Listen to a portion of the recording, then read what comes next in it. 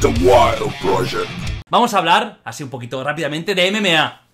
¿Vale? Para no, porque sé que hay mucha gente que no se entera, pero pa- venga, porque tengo ganas. Para no aburrir mucho, pero hay dos cosas eh, muy fuertes, ¿no? En estos últimos tiempos en la MMA. Retiro de Khabib. ¿Qué opinas tú, Khabib? ¿Lo pones en el, en- en el top 3, top 5 del mejores de la historia o no?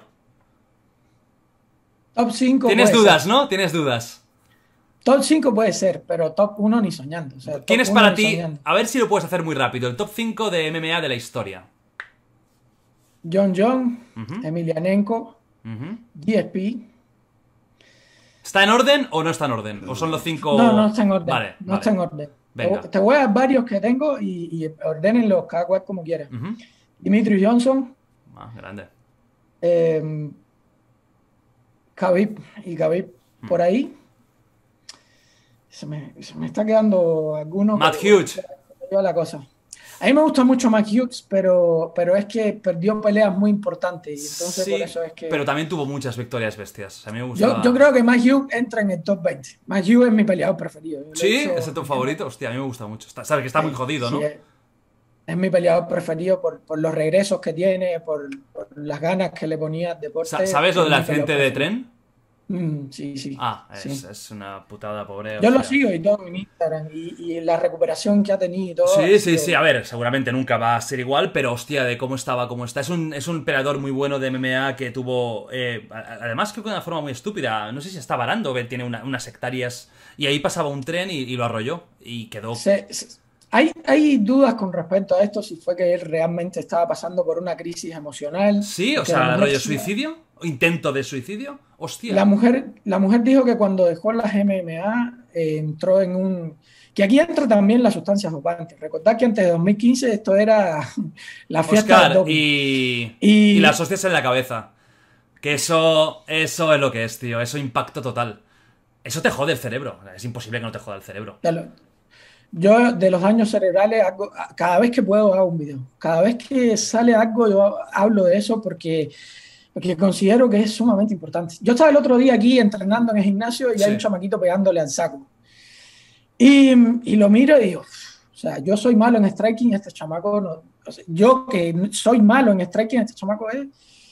Y voy y le digo, eh, bro, el- te puedo decir algo, o sea, con mucho respeto, ¿no? Te puedo decir algo. Y me dice, sí, sí, sí. O sea, la guardia es así, no descuides, no bajes la guardia, cuando tires uno, el otro tiene que cubrir, etcétera. Cosas básicas, o sea. Ajá. eh, y después le pregunto, porque lo veo pateando también de costado, o sea, la técnica pésima. Vamos, a- decir que todo lo que es básico, cosas que son básicas, el control de la distancia hasta con el saco ya estaba mal, imagínate tú con un oponente. Y me quedo así y le digo, brother, ¿qué tú entrenas? No, MMA y voy a pelear en el mes que viene o algo así.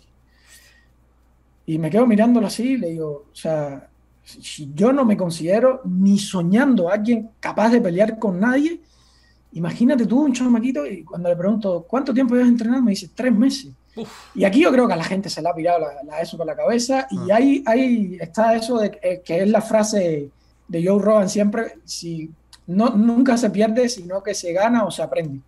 Y él me dijo eso y, y- y yo me quedé así y le dije, no, Te van a sea, reventar la cabeza. los daños cerebrales no es se aprende, o sea, un daño cerebral es para toda la vida, Claro. brother, o sea, pero sí, el daño cerebral es algo que, que- que está ahí. A ver, es algo que mucho, ah, que hay algunos privilegiados que se van a, van a retirarse y van a tener una vida normal.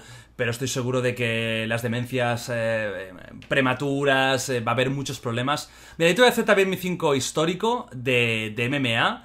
Ah, yo tengo que poner a Khabib también. Mira que no es mi favorito con su estilo, a mí me aburre un poco, pero es que.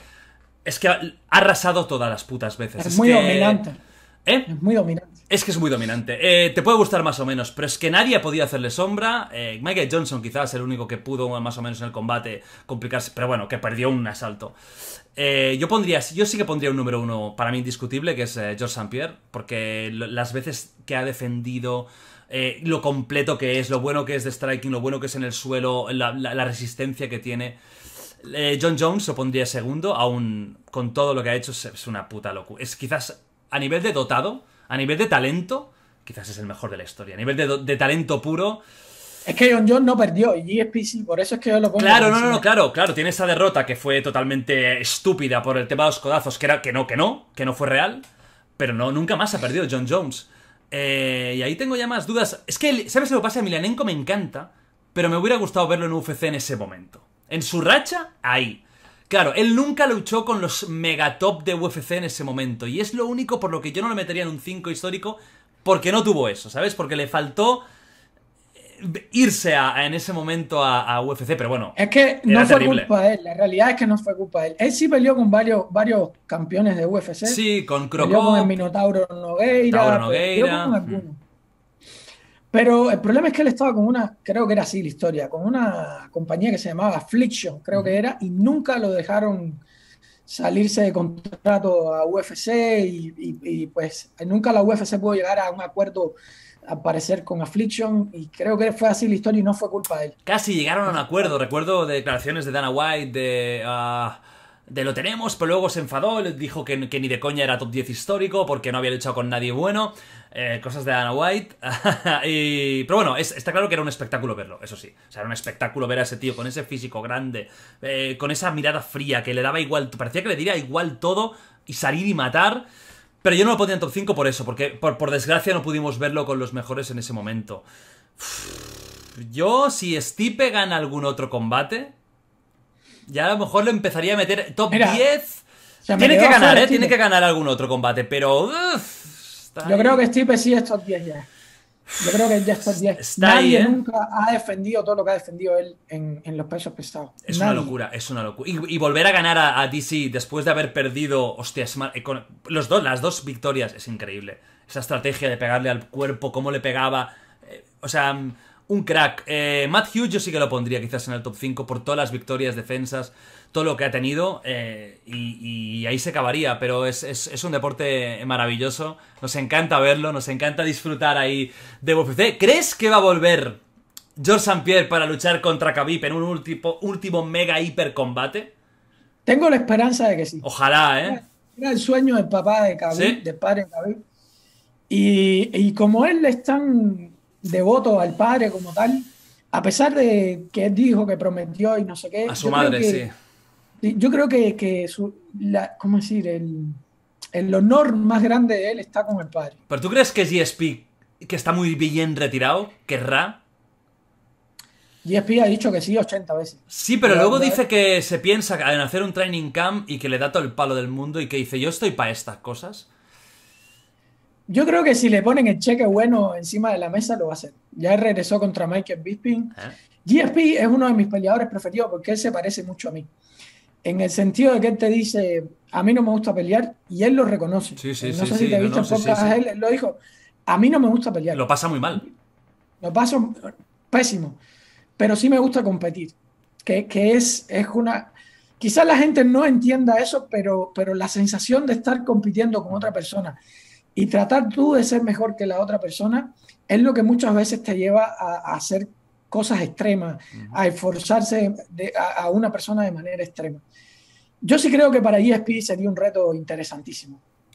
Mm, lo que no creo ganar. Ya, es que son muy, que, que Georgia tiene 40 años o 41, lleva retirado, ha hecho un combate en los últimos 7, 8 años. Aunque se mantiene increíble. Por eso, cuando peleó con Bisping, llevaba años retirado. Y fue una pasada. Y, lo hizo bastante bien. Encima, no en su peso. No en su peso. Por eso, unas 15 libras por encima de su peso de competencia. Sí, sí. Contra el campeón, Bisping. Pero no creo que le gane. Khabib. Tiene una puta técnica, pero la hace perfecta, tío. Es que no.